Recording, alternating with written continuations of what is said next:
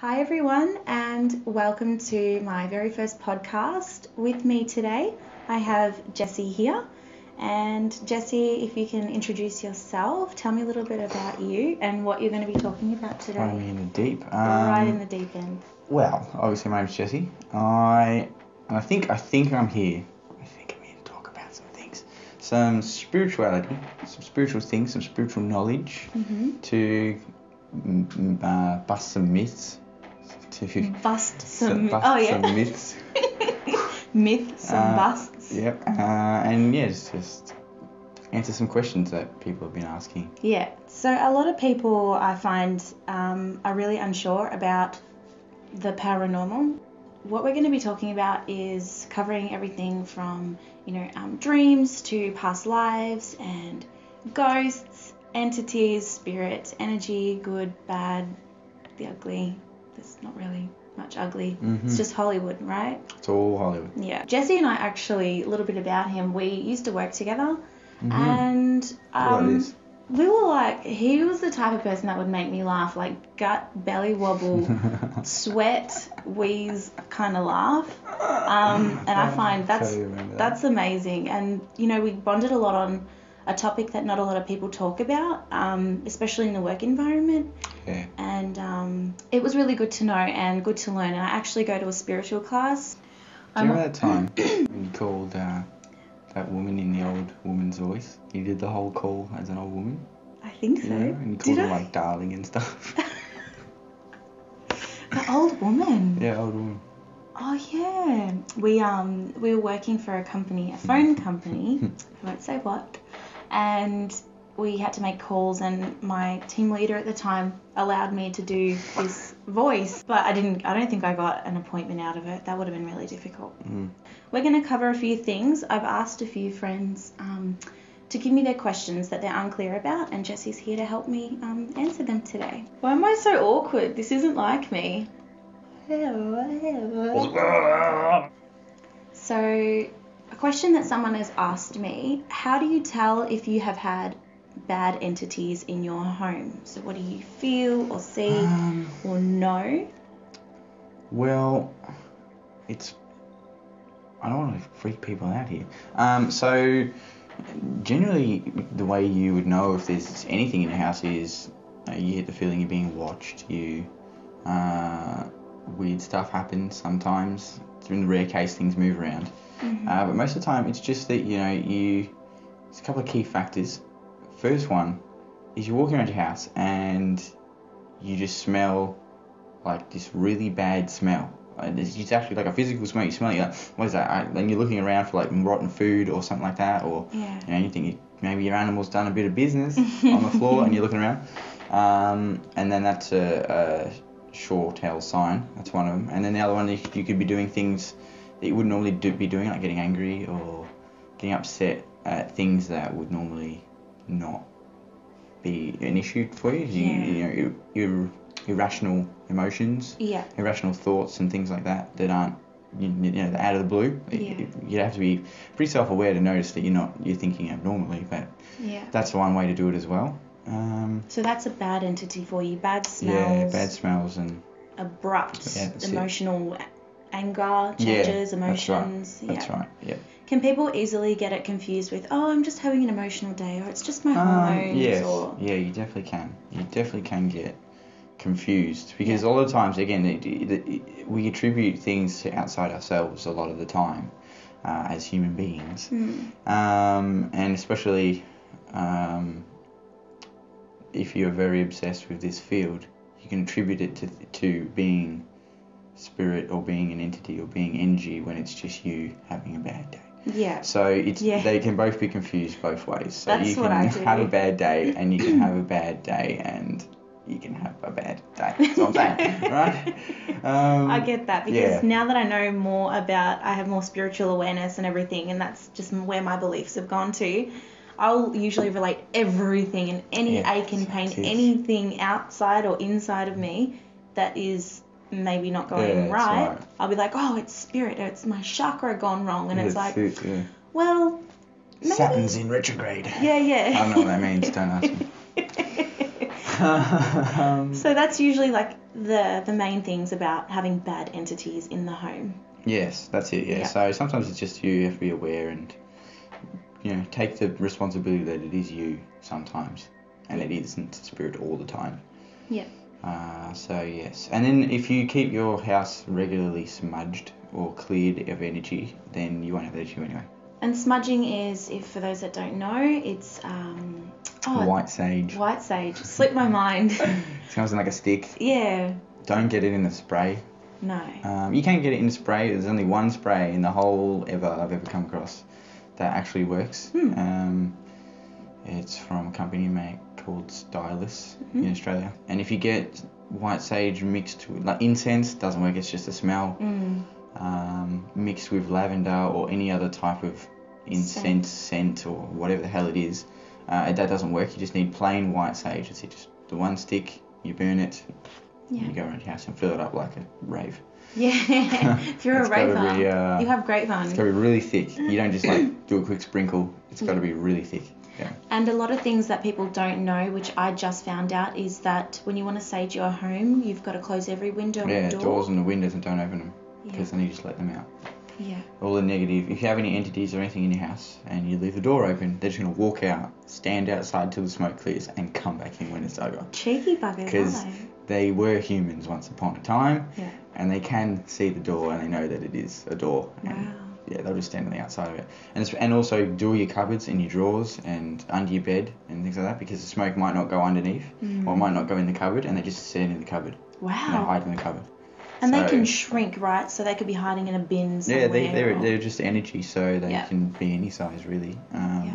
So yeah, you just get uh, don't be like full on obsessive in your cupboards and uh, get into like little drawer like this big, and, like every box open up. Every makeup Uh, drawer. That's all right. uh, it just has to be um, enough. yeah smoke. enough and in each cupboard, and each doors, and and yeah, close all your windows and your doors, Awesome. and just have a smoke fest in your house. and then when sage. it's um, cleared, you can then open the doors and the windows yeah, and that's right. Yeah, because it'll it'll clear itself. It'll eventually dissipate, and take everything. that's how away. you know all the energy is neutral. Yeah. So it doesn't actually take bad energy away. It just neutralizes all energy. right. So it's not a, you know, ward. It does ward away. Ward away. Just it just neutralizes energy. Yeah. Um. So it's not a good or a bad thing. It's just flatlines your whole house or whatever you're doing. yeah. Clearing. And energy is always overturning into good and bad. Is Mm, that yeah, it's balanced. It's balanced. So it's Balanced? both. Through As the soon as, as soon as as soon as something neutralizes, it then starts to have energy created again. Same with our chakras. Where you draw our energy and then even it, it gets opens up again immediately. So, yeah, dispersed out. yeah. Um, the, another thing I was gonna say was I keep hearing double taps. Are you hearing that as well? Yes, yes, lots Yeah. of double taps. And usually double taps mean um, confirmation of the right information. Is means yes, yeah. yeah, yeah. So it's the little things that you kind of become aware of. You know, some people don't think much of it, but um, I've had a lot of validation in my experiences where I'm like, wow, that is so right. Like I used to just ignore that tiny little thing or whatever that thing was, and I'm like, yeah, that makes so much sense because I was talking about this when I heard that, and I'm like, hmm. And it's happened Mm. so many times where I just I can't deny it anymore. Yeah, that's right. The uh, other question that someone's told me is how to tell if there's an entity attached to you. Ah, yes, yes. which is Now, what we've covered. yeah, we have pretty much. covered a little bit of this. Um, a lot of the times, uh, it's a bit, it's rare to have, uh, I think, an attachment. So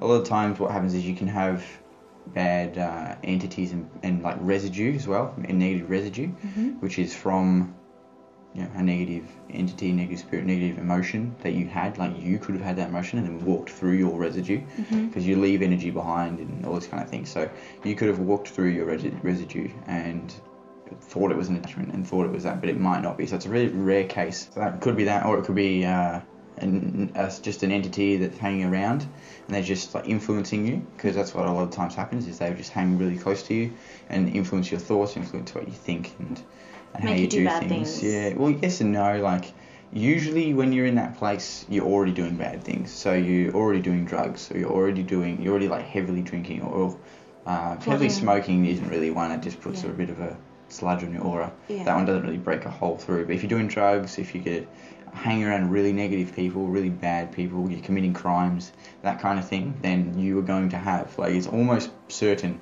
that you're going to have those entities hanging around you. Mm. Uh, and Provoking? you're yeah provoking thoughts and giving you things that you wouldn't normally think and um, trying to influence you through like almost living their life through you because that's what they do because they're low vibration and low vibration attracts low vibration so Right. when you are not committing crimes or doing drugs or drinking heavily or any of those things you would naturally be resonating at a higher vibration to somebody who would be Yeah. and by being at a higher vibration, you basically repel those uh, lower vibration entities around you. So Mm. just be a good person, and you're good to go. And try and just stay up there as much as things can bring That's you it, down. Meditate. Yeah, it makes sense because a lot of really low down, depressed people have a majority of those friends, and Mm. high inspirational Yeah. people and motivated people have a lot of those friends. And I think the only way you can really um, comprehend it is, say, for example, if I'm around someone that's not on my level, at least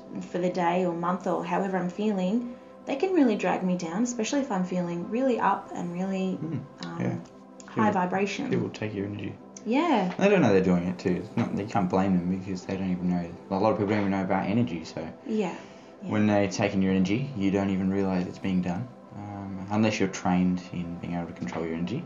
yeah, Uh, but most of the time, you don't even know it's being taken, and most of the time, they don't know they're taking it. And yeah, if you're hanging around low vibration people, it really drains you. You feel like Mm. the best way to tell is when you leave the conversation that the person that you were talking to le- leaves grey, and you feel like you've been like you're like oh god, that, that was that was an ordeal. Time you know for I mean? a so nap. when you speak to someone, if you come out feeling better, then maybe you just took their energy, yeah. um, and maybe they took yours. So. Or you could be on par, which Yeah, is rare. exchange, Yeah, it is rare. It is Yeah. rare. It's usually because one person in the conversation knows how to control their energy. Mm, Interesting. So that's really good. That's I, I like that. Like that's basic 101 for me, learning Mm. about those type of things. Yeah, basics. Because yeah. I'd always Energy. get drained when I'm, I'd be around the wrong people. So another thing is, which is something that I usually do, um, but I usually set myself up before I sleep. So I'll shut down and white light and things like that. Like I'll say, I, don't want to astral travel tonight. I want to have a good night's sleep. I want to stay in my body. Please don't wake me up for any reason. Yeah, blah blah blah. Keep it, keep yeah. all that. Yeah, all that, all the nitty gritties of it all. Yeah. And white Um, light, for the people who don't know, like white light is Yeah, it's a pure positive energy. So obviously, white being positive and, and pure. When you white light yourself, you're just you know bringing in positive energy into you. Simple as that. yeah. And cleanses you as well. Cleansing white light. I used to do this a lot, and I would wake up at about 2 a.m. to 3 a.m. a lot of the nights. Sometimes I wouldn't remember. Sometimes I'd wake up, look at my phone, and be like, "Hang on, it's 3 a.m. or 3:30 or Mm. 4." Definitely. Why is that? Some people have that. Yes, so uh, first off, disclaimer here, right? You could be eating healthy, unhealthily. you could be experiencing some sort of mental issue Mm. that keeps you awake, insomnia maybe. Yeah. Um, or you could have been, it could have been a noise that you didn't hear and woke you up, those Mhm. kinds of things. So it could be something that's totally not related to energy, totally not related to spirit, anything like that. It could just be you and your lifestyle that created that Yeah. wake up, right? But if it's not, in the cases it's not, uh, it is because between, I believe it's 1 a.m. and 5 a.m.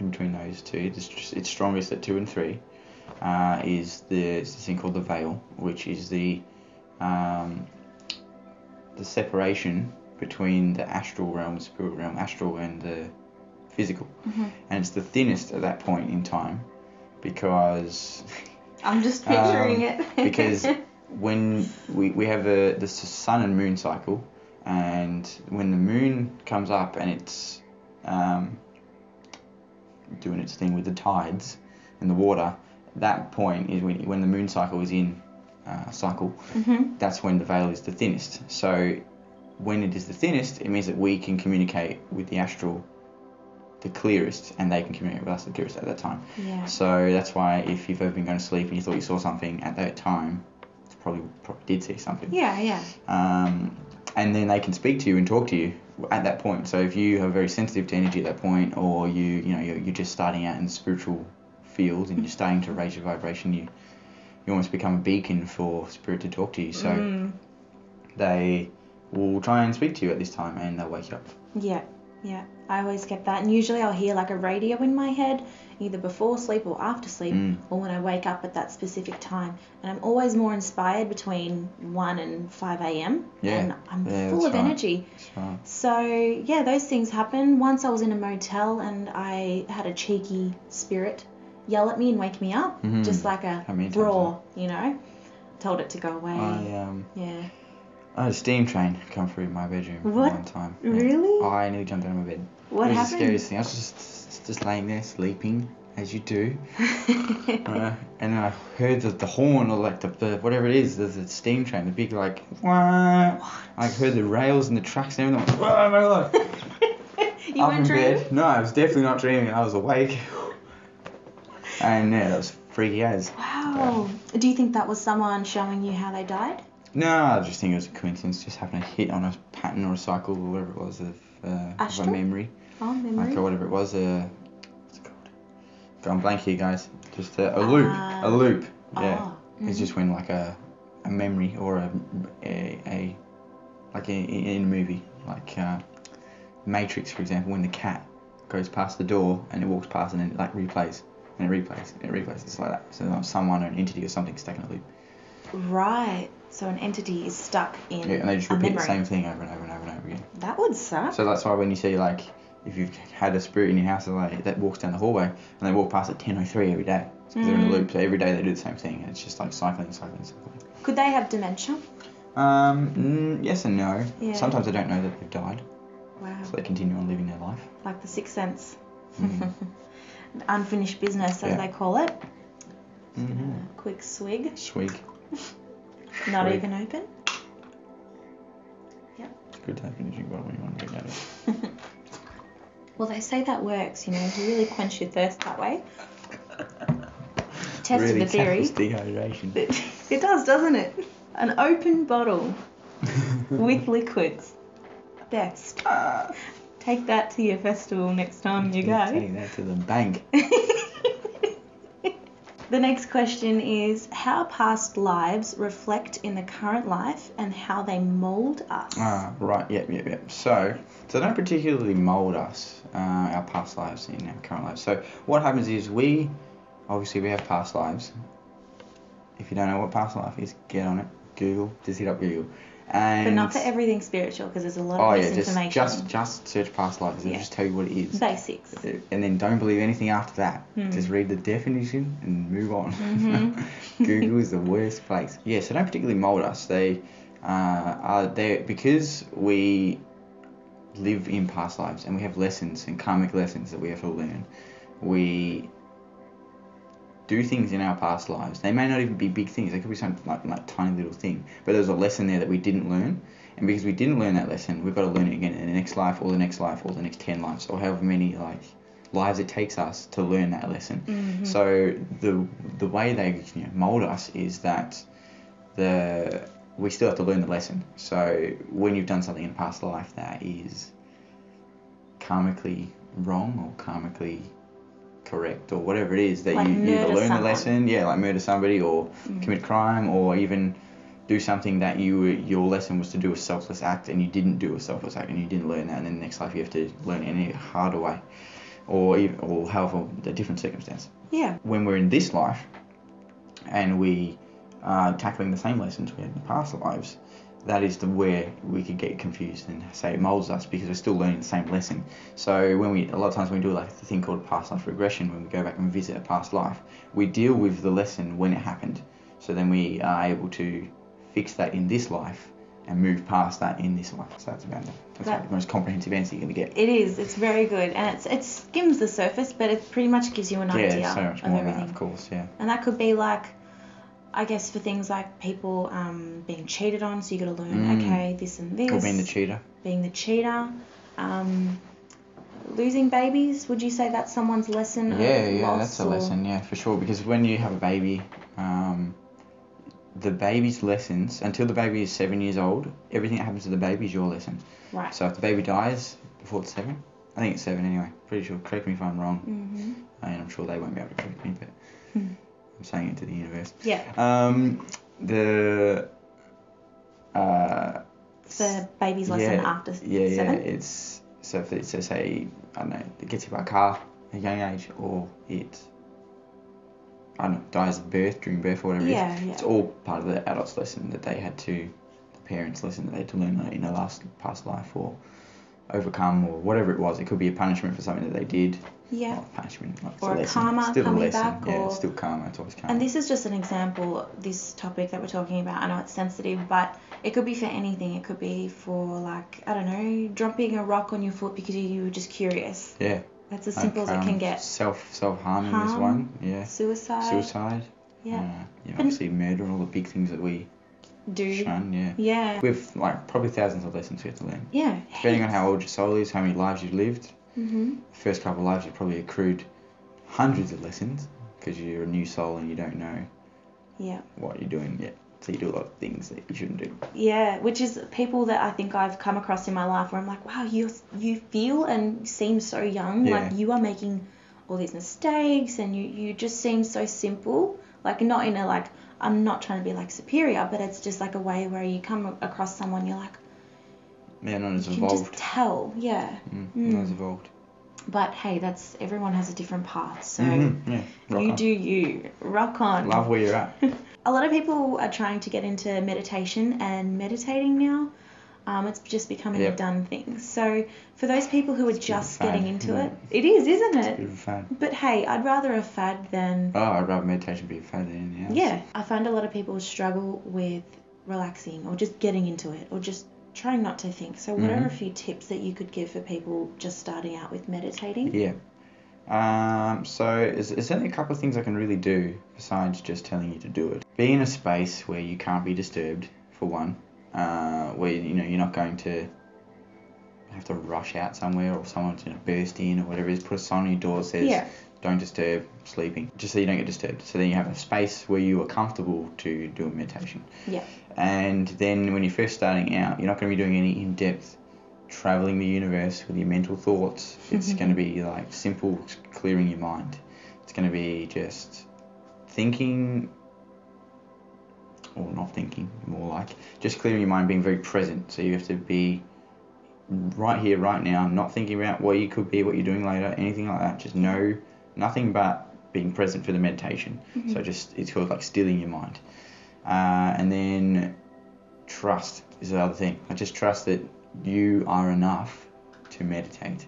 Because whatever you hear, I heard that tap. um, yeah, just trust that you're enough so that you, you know, you're not thinking I can't do this or I'm not good enough or Yeah. those kinds of things. You just in the moment, pushing through, doing the meditation, and then coming out feeling great. And do it maybe five minutes. Start with start with a two minute meditation. Start with a ten minute meditation. How long you can do it for. Mm. And uh, and before you know it, you'll be doing hour meditations, two hour meditations. And that'll feel like 15 minutes.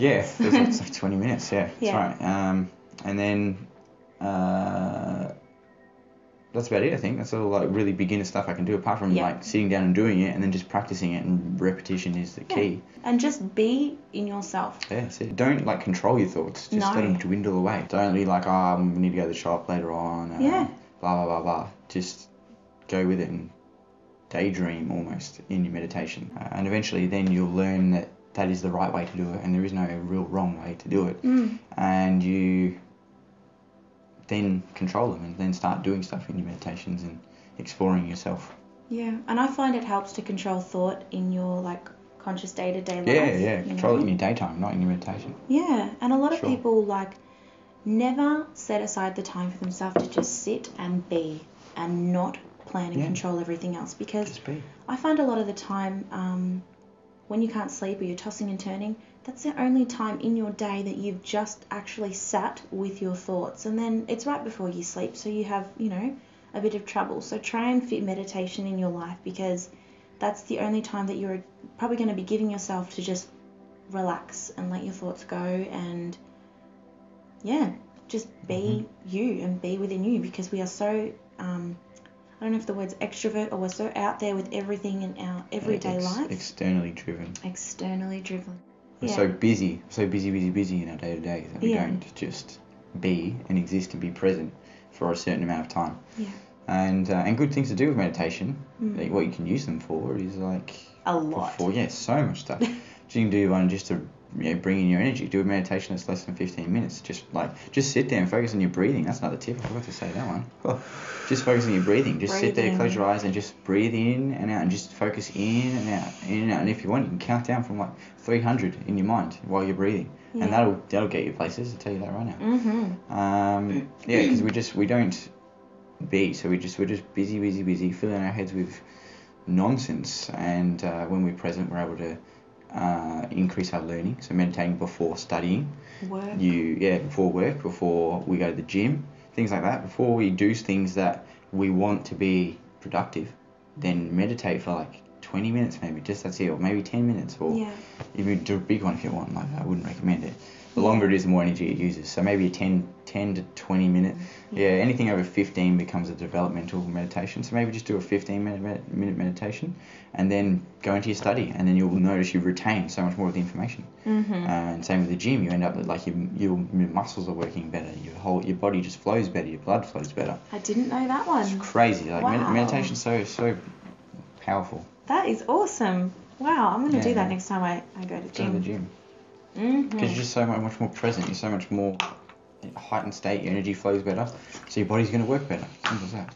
But then, of course, if you're going to the gym and not eating right and all that, that's also another thing. Yeah, balance is key. Balance. Yeah. Everything's balance. And another little tip, um, I find breathing in for four seconds and breathing out for four seconds really controls that even flow. Mm. That's just what I've done. Over cool control. Yeah, whatever Yeah. works for you. What do you, if, if it works for you, as long as you're not uh, drawing in any negative energy and things like that, Mhm. good to go. A lot of people are really, I guess, worried about all these bad vibes and bad entities, and Bad I think it's just Hollywood's enti- uh, entity, Hollywood's entity in the Hollywood's influence. So Bad mumbo jumbos. it is a lot of mumbo jumbo. People want to know how to not take in other people's bad vibes. So protecting yourself, I guess, at work or out at the shops or the movie theater or Yeah. just someone in your family, even. Yeah, yeah, that's the worst one. Yeah, it is. Because you can't get rid of them. um, you can, but you know, your choice. Not going to tell you what to do in your personal life. exactly. Um, well, the best way, apart from your family member, we'll, we'll come to family afterwards because that's like a separate issue. Oh, is it? Uh, is it ever? The um, friends, acquaintances, people around you that you don't know or you do know that aren't your family, because you can choose those, um, and technically you can choose your family, but we'll go focus on that mostly. So, uh, the best way to do uh, the ridding of bad vibes is don't hang around people with bad vibes. it's as simple as that. One step. don't do it. One step for mankind. um, but if you have no choice, like say you have a job, Mm. and especially if you work in a factory, oh, that's the worst place I ever experienced Really? bad vibes. Yes, everyone's blaming everybody for everything. Never took any responsibility for their lives. So, if you work in a factory, have a think about what you're not taking responsibility yeah, for. wow, yeah, because you sit there Um, doing monotonous things, I yeah, guess. that's it. That's it. Yeah, and it's a very low vibration environment most of the time. Like, I'm, I'm it's a massive generalization. Mm. Uh, however, I did notice that that was the most toxic environment I've ever been in. Is when I was working in a factory Wow. Uh, a few years ago. Or call centres. Yeah. Oh, call centers are pretty bad too. Uh, factory's worse than call center. Wow. Oh my lordy lord. How long were you there for? Oh, a little bit, a couple of weeks. Couldn't hack it. I couldn't hack it. I would have been like two days done. Yeah, I did it. It was really good. It was really good pay. I must say, it was really good pay. Mm. Either keep your conversations really short with them. Don't talk about negative things.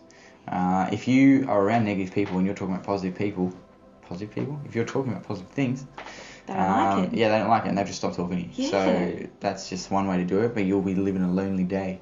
So the best way to do it is yeah, just don't hang around those people because you'll have to you have to make the choice of either not talking to them or putting up with their bad vibes and their Yeah. nonsense. So and if you have to, yeah, if you have to, then yeah, as I said, keep them keep them short. Like you can't really do much unless you learn how to control your energy. Yeah, and Because protect yourself. Uh, because and- it's your choice to take on their their uh, story and Mm. their you know, vibe. You want to say their energy that they're giving they're off. putting Yeah, what they're putting out. It's your choice to take it on. Is you don't have to like take it on all. comes from the solar plexus, doesn't it? Um, yeah, well, energy exchange and connection comes from the solar plexus. This is a yellow chakra here called the solar Solar plexus. plexus. I think it's called something else, but I don't know. No, I think it's that yellow. that? The yellow chakra. The yellow one, Third. if third you chakra. are feeling, you know, a bit like depleted after having or being around someone or Mm. um, an environment that is draining to you, um, I do this. Sometimes I don't Yeah. care what people think. hold you, hold or- just like cross your arms. yeah, this Or is comfortable. I do so. Cross Yeah. your arms. You know what? You're right. Yeah. I don't think I've seen you do that. Maybe I have at work. Yeah, I do it to people around us. We, we've got pretty good people hanging around. Yeah. Yeah, I do. exactly. I do. It doesn't look weird. It just looks like you're holding like your, uh, um, Midsection. yeah, just like whatever. Had a really spicy curry at lunch. It's playing over me. through the giving me the. so that's a good one. So um, but do you know what? That would be a great deflection, like to get people out. Had a really spicy curry at lunch. chili dog. oh. I think you better walk away. That will That's get it. rid of them in a heartbeat, That's right. in a non-spiritual sense. So Number one tree. that's I good. was on the toilet all night last night. I'm afraid it might come out the top half. I think it's contagious. I think I'll spill. Did you say gastro? Uh, Don't get too close, man. Stay away. Stay away. Um, but that's yeah. That's probably the best way you could do it is just hold out because it stops emitting your energy out to them. Yeah. Uh, and it also sa- saves your energy too.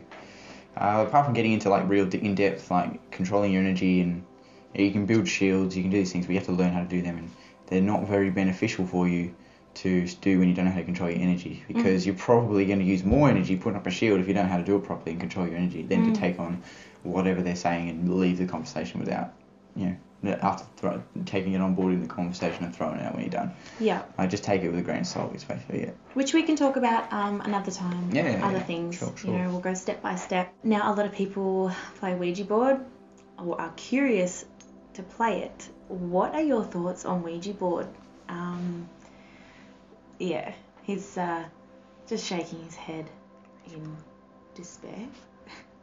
That's what I think. Terrible. absolutely no, no. Terrible. Terrible. Don't do it. Yeah. It's a doorway, isn't Charlie, it? is that you, Charlie? Charlie. It's probably not Charlie, alright? That's what I'm saying. It's probably someone named, Greg. yeah, and he was a murderer, Exactly. and he was a child molester, Mm. and a very low vibration.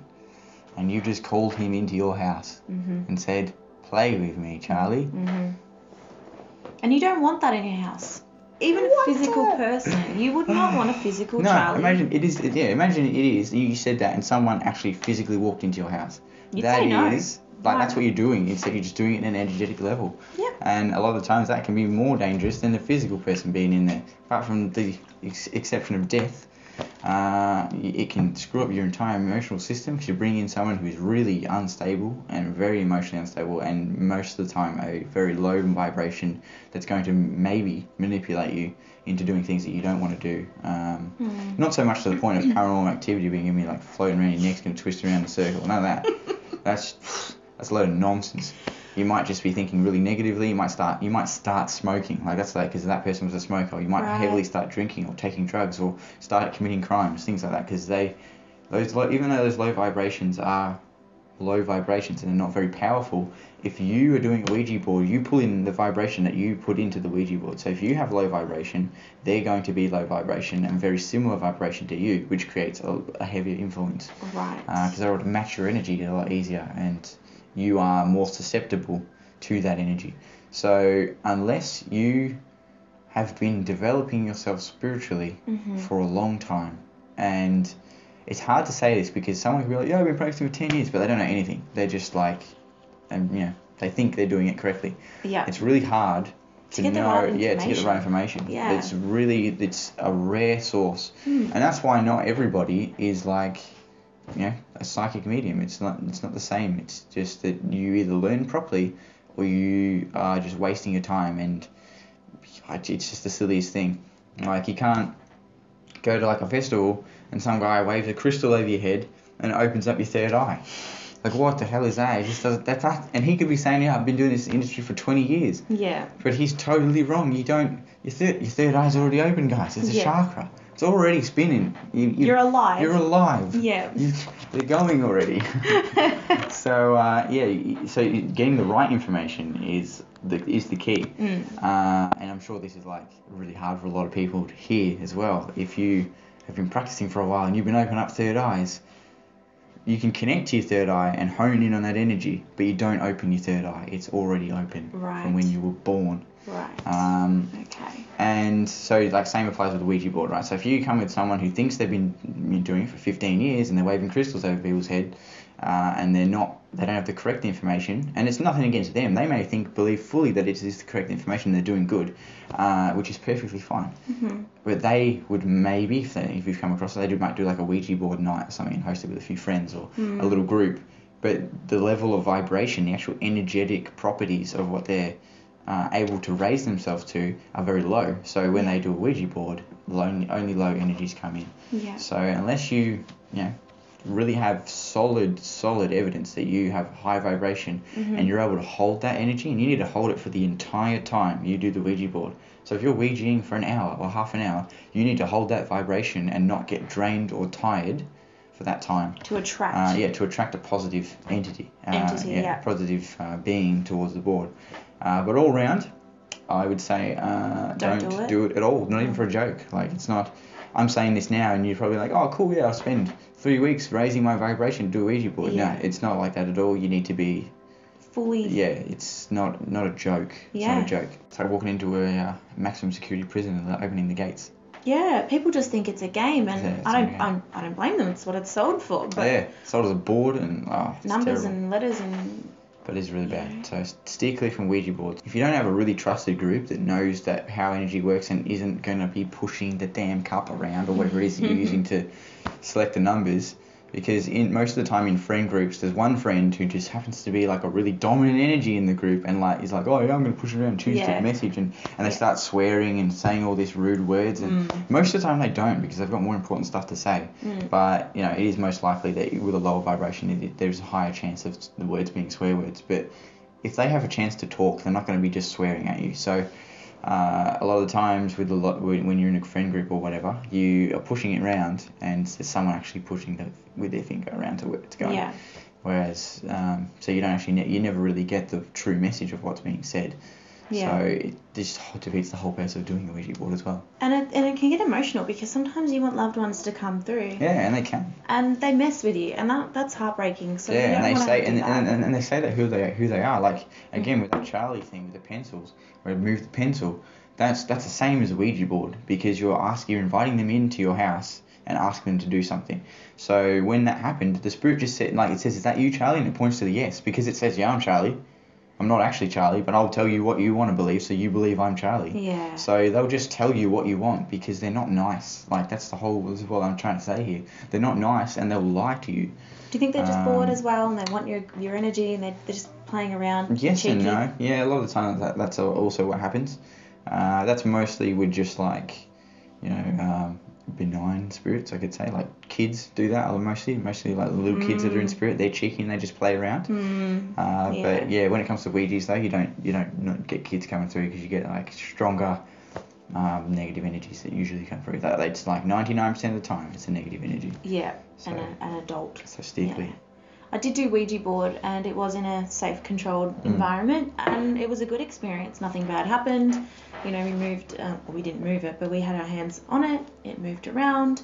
We attracted good spirits who were just having a conversation, told us how they died. It was just general chit chat. yeah. It's just yeah, Um, it's just normally how it is. It's just general conversation. Yeah. It's nothing crazy. It's like, oh god, Yeah, what are they yeah, saying? None of yeah. that. It's just it's just like talking to a spirit. It's like in the general chat. You can ask them how they passed. You can ask them what their name is. Yeah. I spoke to a cop once and she's Yeah. like, yeah, I'm from like Kentucky or something and got Mm. shot and blah, blah, blah. And I was like, oh, That's yeah. it. Yeah, wow. it takes forever to get the message. Oh. Years because you're like one letter at a time. Yeah. But yeah, it's not to be mucked around with. Yeah, but I, I wouldn't do it again. I wouldn't do it on my own. Um, you know, Yeah, I'd just, silly. I'd rather be safe like that. do spiritual development. Get into a spiritual class and learn how to speak to them with your mind instead. Yeah.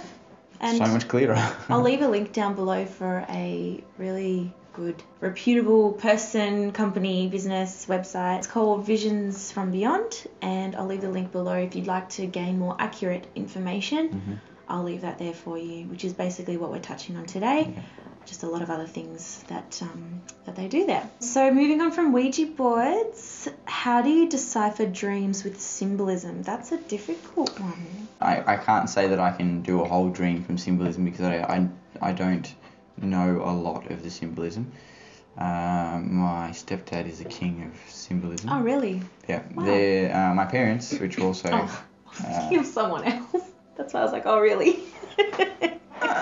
of uh, course. My, uh, my my stepdad and mum, uh, they are they're going to be writing a book on symbology. So Oh, awesome. that's cool. So they're very good at symbology. Uh, my stepdad is the king of symbology. So he's the one that really like would be the one to be able to shed light on this topic. However, you can't just call him up and be like, I had a dream, blah blah, because Saw a cow, jumped a fence, and Yeah, that's ate a piece of carrot. Well, That's what right. happened? What, what am I doing with my life? I travelled on a train and I met a singer. yeah. Like it's just there's so much more to a dream than just like what you did. It's like how you felt and what you saw and the smells and the colours and all that kind of stuff. The left or the Uh, right. Yeah, left or road. right, where the timeline it is, how high up in, high in, in the air, wherever you're on the ground, Yeah. what kind of animals were there, what kind of flowers are there. There's so much stuff that you need to be aware of. I like so, the right side and the left side thing. Like, did I break my right leg or my left Yeah, leg? it, like, it. Is it mothering? future Is it past. fathering? Is it uh, is it my will? Is it my uh, children? Is it my so many yeah. things. best way to get a bloody dream book? They're Hmm. pretty good. Are dream they? books are pretty good. I get sketchy about Uh, those. They are pretty sketchy. Get like three or four. Compare Oh. the books. Oh, okay. or Google, do Google and like do three or four sites and just compare the compare like compare them and pull out the similarities between them, and they're usually the ones that are pretty solid between the, Right. the symbolism because they're more there's more than one occurrence of it. So that's probably googling that way. for information Yeah, is that's okay. it, For it. symbolism. For and symbolism, yeah, yeah. for symbolism, it's pretty good. get a lot of um, Uh, different um, websites and information, and then whatever sits right with you, whatever feels Yeah, right it's in your sit right. gut. Because if you're reading, like, that doesn't seem right at all. Yeah. It's probably not right at all. A frog can mean transformation, and it can mean adaptability, and Oh yeah, yeah. because it's amphibious, and it can it can adapt from water to, to land, yeah. and it's transformation because it goes from tadpole to frog, and it can jump really far, considering its size, and they can be green, they can be rainbow, they can Green could mean your heart. yeah, green could mean heart, can mean growth, it can mean self, it can mean healing. And then like what happened to the frog? What, what was around? What did you do with the frog? What were you doing before you saw the frog? What did you do after you did the frog? There's so much stuff. Yeah, was there water? Was it emotions? Was it like cleansing? Was it what happened? Did it eat something? Was so much in a stuff. desert? Yeah, right. was it dead? Like that's another thing. huh? Yeah. So there's so many things that uh, come into symbolism that you can't just be like, oh, I have a dream and you know go through it. You need to really practice writing your dreams down. If you want, if you want to go into your dreams and like start deciphering the symbolism of the dreams, you need repetition, Mhm. repetition, repetition, repetition. And you need to wake up, write your dream in a dream book, yeah. Then come back later on or do it straight after the dream and, and decipher it, and then do it every single day, every day. That's that's, that's really that. how you're going to get That's good, at symbolism and, and deciphering your dreams. Mm. And then again, you can and you can do like the uh, you can apply everything in your dreams to your life if you want. Uh, you'll be trying to figure out things that don't really sound uh, just normal because the the dreams gonna be so in depth. There's gonna be so much information in every dream. You're gonna be trying to work out problems that you don't really have. Um, or are very small and you're thinking are bigger because you have to decipher the dream. You don't actually know what it is, and you can al- you can kind of drive yourself crazy too. Mm. So that's your choice to decipher your dreams Yeah. to that extent. yeah. Uh, but if it's a really vivid dream, if it's a really like uh, distinctive moment in a dream, decipher that and figure out what it is. hmm Yeah. And also astral traveling. We'll go into that another time, but that's a really interesting thing um, Yeah, really cool. when you're asleep. And uh, it'll probably take years to do it. Yeah. It's not just like, oh, I astral travel last night. Yeah, I'm, I'm still trying to do it, like forcefully wanting Yeah. to do it, and Yeah. I find it difficult. That's right. And how long have you been spiritually developing for? Ugh, like 25 years of my life.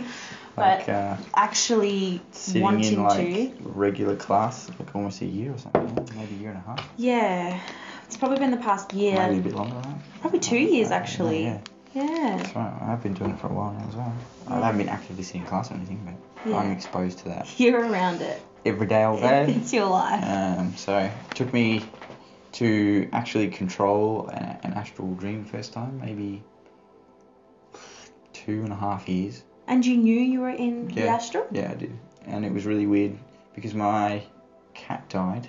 This was ages ago, so it's all good. Not really. Not the one I met. Uh, no, no, this is way back. This is uh, before I even started spiritually developing. And my cat died, and I had a dream, and he was in there. And I, for the first two times, I believed he was like, I came back and was alive because it Mm. was just such a vivid dream. Wow. And then after the second time it happened, he came back again, and then now I know if I see him in a dream, I know it's a dream, and I'm, then I'm like fully controlled. And that was the first time I ever did it, and it took me like two and a half years That's so cool. of spiritual development and like willing astral travel to get it. It's not just like oh I astral traveled. Yeah, Most likely you didn't. You just had a dream. A really vivid one. Mm. But we'll touch that. Um, We'll go to that later on. So much more than that. Next question. Next question. So this one's about crystals. Someone asked, "What are crystals good for for everyday use?" Everyday use. Yeah. Yeah, All right. Um. they're for a lot of different things. Yeah. Yeah. That's right. Where do you start? it's a very broad question. It is, isn't it? Um. So. For a beginner. Yeah, it's Yeah, for a beginner, it's a very normal question. So there's nothing wrong with that question at all. It's actually a very sensible question. Mhm. So crystals for everyday use. Well, it depends on what you want to do. So you could have a crystal to filter your water, like we do. We have a big shungite in the water just to purify the water, Oh, yeah. and then it also goes through a filter as well. So it's just purifying the actual energy in the water. So pure. Oh, so The purest. So good.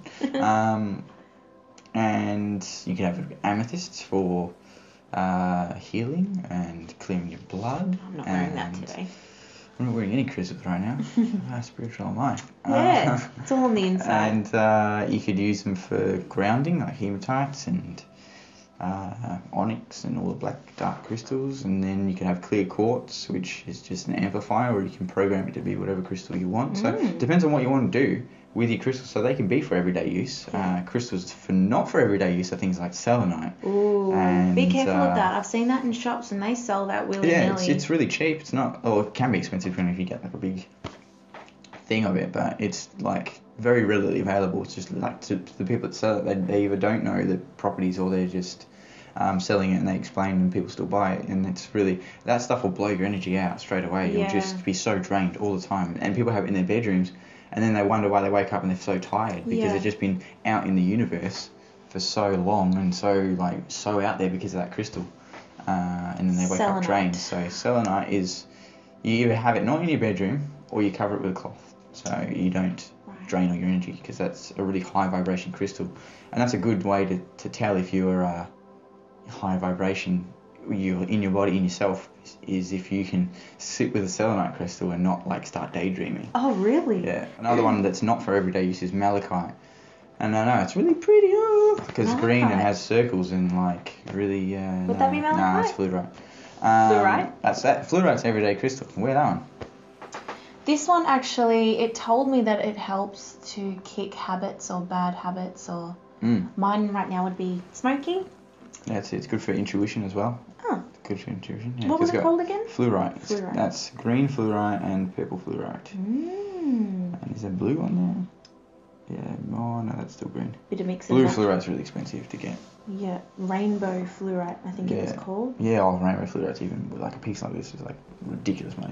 Really? Ridiculous, yeah. This is about six bucks. Yeah, they're, yeah, normal fluorite's really cheap. I've got tons of it, tons Hmm. and tons. You get them in spheres and all sorts of shapes and stuff. So that's a really every, a good everyday crystal. It's Yeah. good for um, balance as well, I believe. A lot of people like rose quartz. Yeah, rose quartz, that's a really great crystal. Carry as much of that as you can. It's really good. Connects with your heart. I find So it makes loving, me cry. Loving, I'm very yeah, it's, it's, it connects you with your heart. So like you get all that out and no wonder. surfaces the things you need to raise and strengthens your aura. If you have it in a sphere, if you get a rose quartz sphere, Ah, strengthens your aura.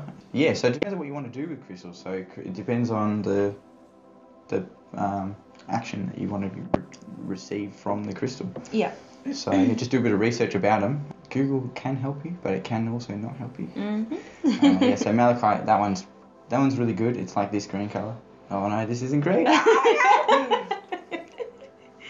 I'll just quickly, uh, green. It's just green colour. so Um, yeah, it's a very broad question, but um, I find yeah, you can Google it, you can Mm. get books, Plenty of books, get Crystal Bible. yeah, and just go by how you feel. There's gonna be crystals calling out to you, like you, you just pick the one that you like think is the most prettiest or the most whatever it is, Yeah. because that's the crystal you need at that point in time. So Yeah. that's really the way to find out about everyday use, Yeah. uh, and then you might not need it later on. I actually bought this from a shop in Sassafras, and I bought a few other crystals that I'd never want to buy. They were Mm, ugly, like yeah. weird, spotty, yeah, I ugly bought like things. ones with like rocks the other day. I was like, I never buy crystals like yeah, this. but you probably needed But them I at need it. Yeah, time. magnetite. Just like a rock. Yeah, it's great. yeah. so just go with how you feel, and um, yeah, that's as basic as I can. We can do it for now. That's right. We've got two extra long questions. So, how do you know? Should we do a quick, quick?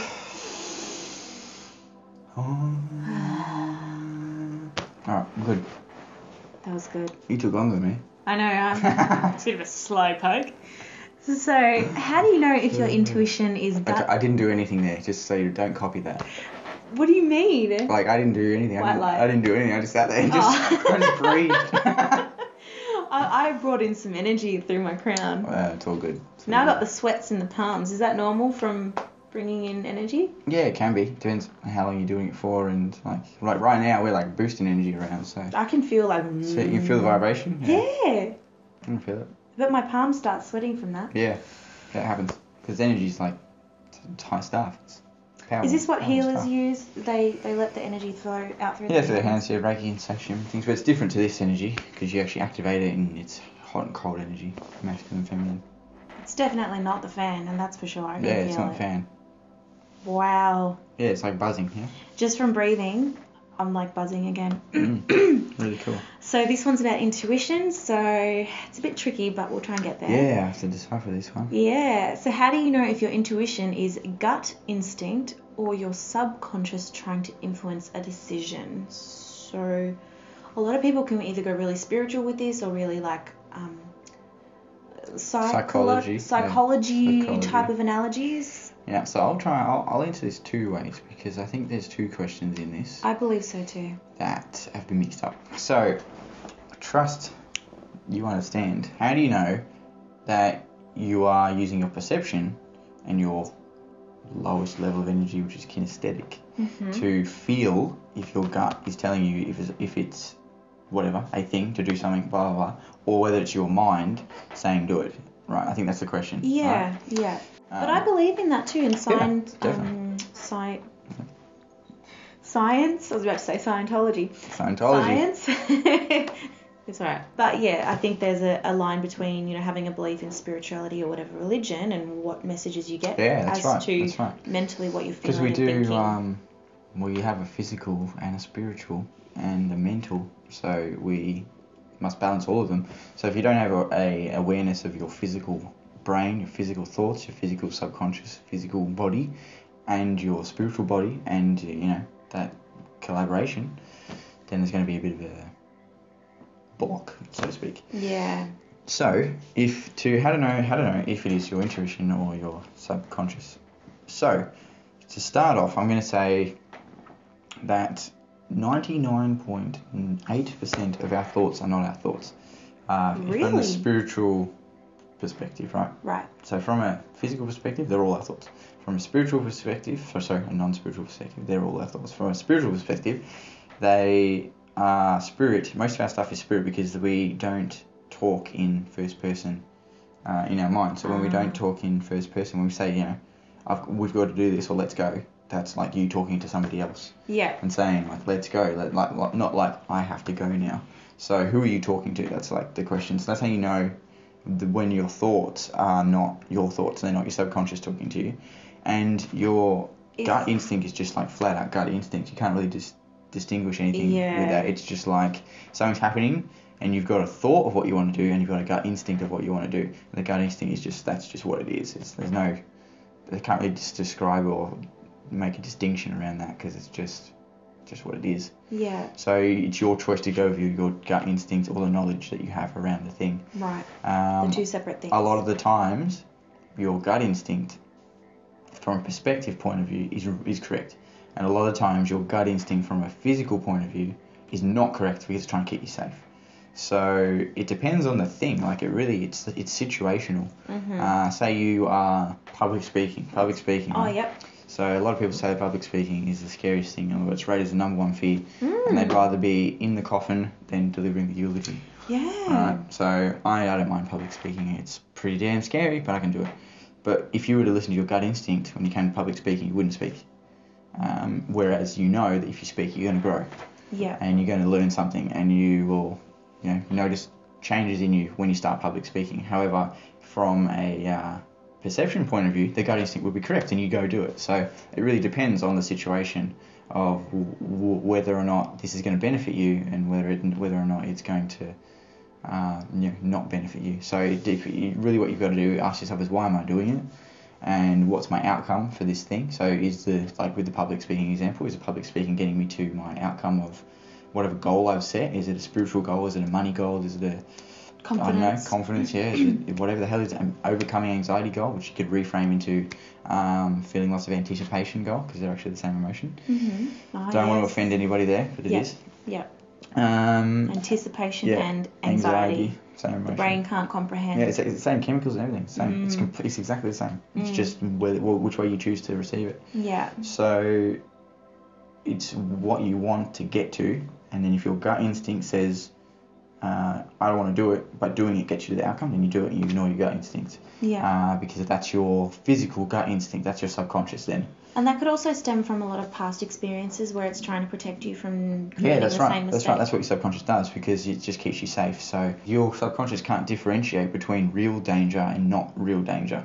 Because back in the caveman times when we had saber-toothed tigers running around the place and, yeah. and all those dangerous things, it's deciphering. It's like trying to protect us and keep us safe. Like we don't know what's in the bush, we could die. We don't know what down what's down that alleyway, we could die. And it just tells you like don't do it because it, you could die. So we, when it comes to like, I don't know, playing a game, it's the same thing. Like when we're playing a game, we've got like headphones on. If you've ever done this, played Slender Man or something, headphones on, or like you know, out Outlast, Outlast, yeah. Crazy game, and it actually you feel the real fear because like the real I've fear of there. Oh my lordy lord, it's yeah. Oh no. Yeah, it's really scary, really scary. And um, and yeah, your brain can't decipher the game to real life. And same with like when you are being publicly shamed or something like that. Like say that you fell over, you know, when you fall over in public or whatever. That feels like real fear because it's your subconscious trying to protect you. So the Mm. question you ask is, is this going to get me to my outcome? If the answer is yes, you do it. If the answer is no, you don't do it. And then your gut instinct, your perception should line up with that. And that, I think, is the answer to that question. That was awesome. That was really good. Really, really good. You you guys got a lot of really good information right there. Yeah. Um, I love how you touched on that. I think my only It's a bit of input would be yeah. um, sometimes I'll talk to myself if I'm carrying like a hot pot of water Mm. and I've got like seven other things in one arm and I'm just Mm. trying to manage and Gut without like, even- put other, the other stuff down. yeah, my gut instinct's like, oh shit, I'm gonna die. But like, my mouth will instantly say, what are you doing, Kasey? Or like something weird like, why did you put that there? That's gonna fall on your head. Or something like that. And then That's you right. think, why am I talking to myself? Yeah, like what are my thoughts going? Why, why do I say these things Yeah. to myself? Because you're not saying these things to yourself. Mm-hmm. You're Yeah. not crazy. You're not. A lot of people do say, oh, I talk to myself. I'm crazy. And it's like, well, no, you're really not. You're unless really- you are. But really you- pretty normal. You can be crazy if you want to. yeah. Your choice. But yeah, I like that gut instinct thing. I had a fear of um, singing on stage once, and I was like, oh my god, I'm gonna fall over. Yeah, same with dancing on stage. I'm gonna look like I have a wedgie, or I'm gonna stuff up. Everyone's gonna be like, huh? All this yeah. going. It was all like, but when I stopped and I took a breath and I was like, I'm gonna be okay. I'm gonna be fine. I'm gonna be great. I put the confidence in me before I got on stage, and I found that that, that really Yeah. helps. And I pushed myself, and then I was like, wow, like I think I heard this analogy: confidence comes before the action, and then after the action is more confidence because you're like, oh, did I? It's co- courage comes after doing. That's- Courage comes after. Because you don't get courage before you do it. But once you do it, you have courage. Oh, so it's not Yeah, no, confidence. courage doesn't come and then you do. Courage comes after you do. Courage before Yeah. confidence? Yeah, courage, courage. Well, well, actually, I think it might be even confident. No, well, it's a bit of both really, because you have to do the thing first to get confidence, because you don't get confidence from nothing. Yes. So you have to initially take that step, and then when you've taken the step, you then gain courage and confidence. Because I think up until then it's anticipation. Right. Yeah, because like as you said, you don't know how to swim until you jump in the pool. Yeah. But you got to get that courage is the word. Yeah, it's, it's, it's like uh, yeah, so to speak, courage. It's not. It, it's courage is the wrong word, but yes, yes, I know what you're saying. It's like you've got to get that. Oomph. Yeah, you got to keep the promise to yourself to do it. Yeah. Yeah, it's, it's it's more like you've got to trust. You trust and do the thing, and then confidence and courage comes afterwards. And this is the last question. Just gonna have another Fun. another swig. Oh, sweet.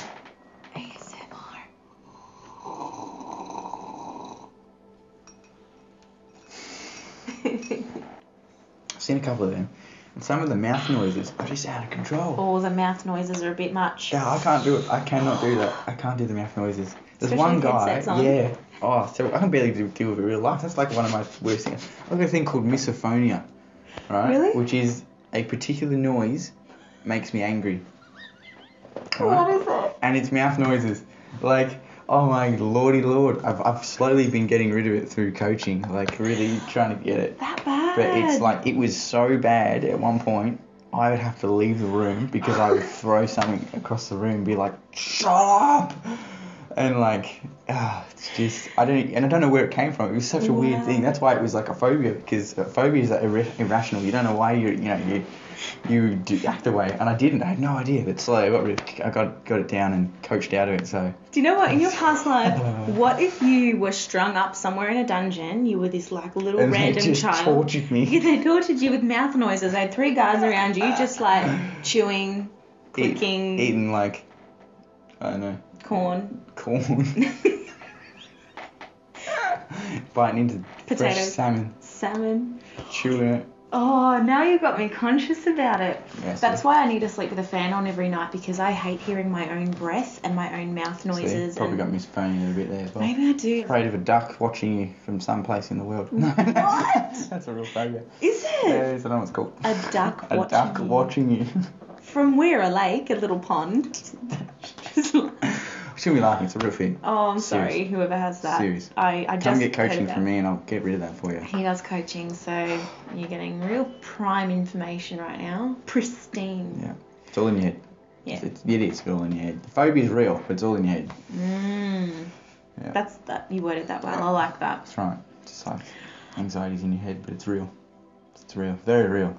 Anxiety and anticipation. Yeah, just change Mm. your language to anticipation. You- Mm. it'll change.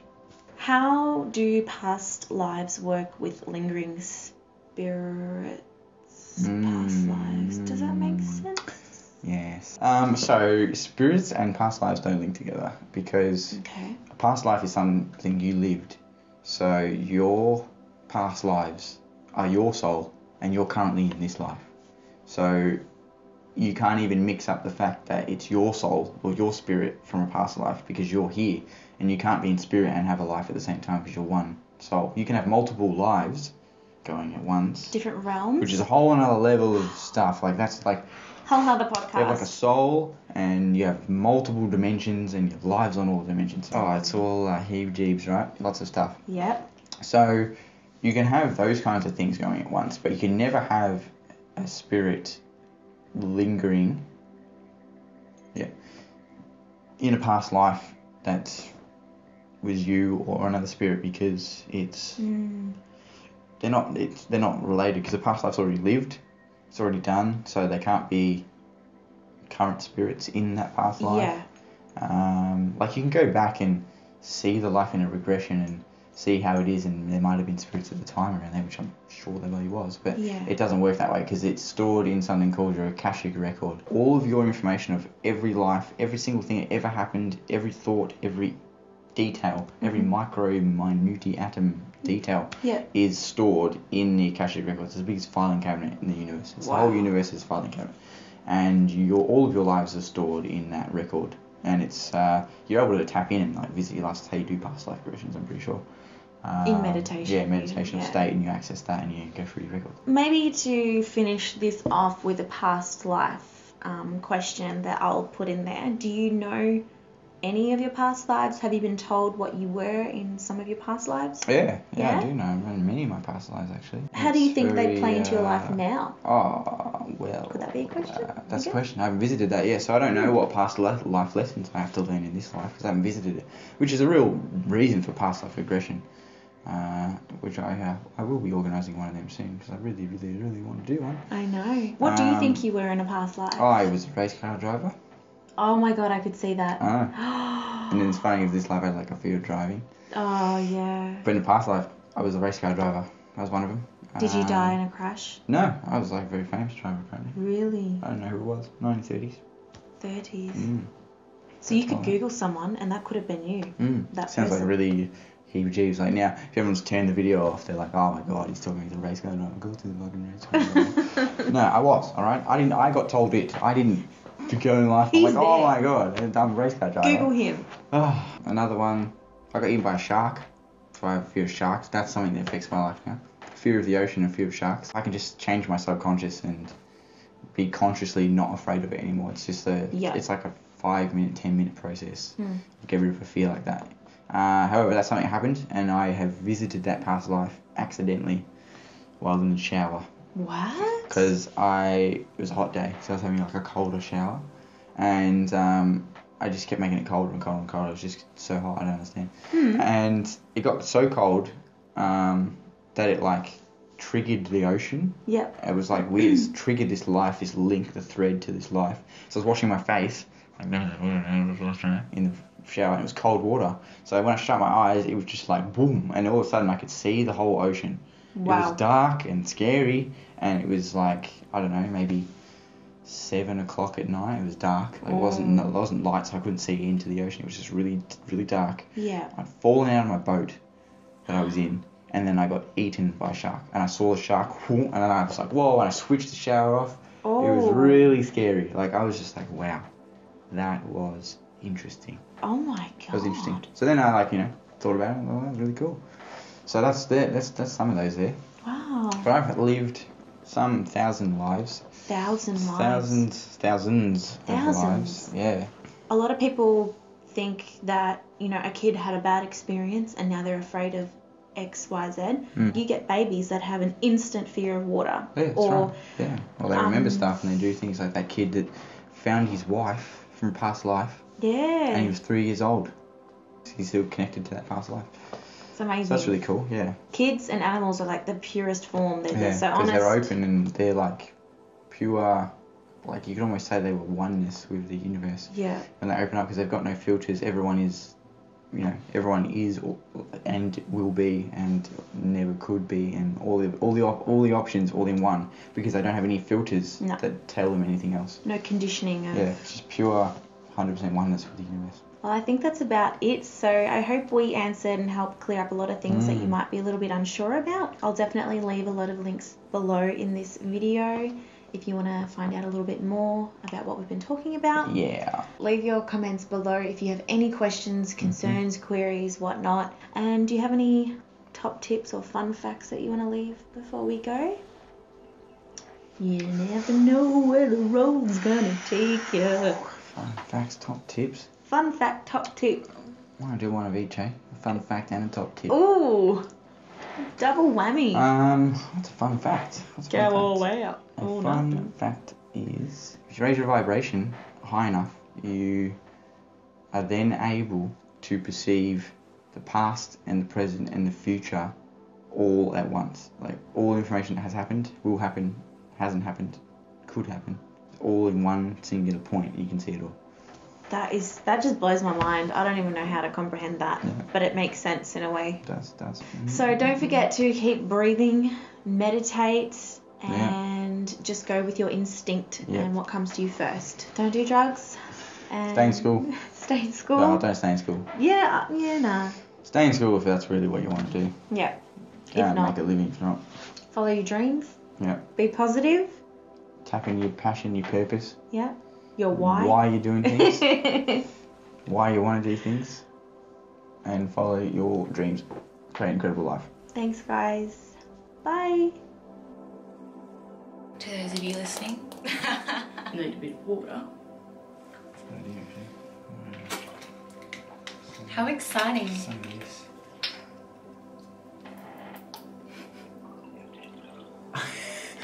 ASMR.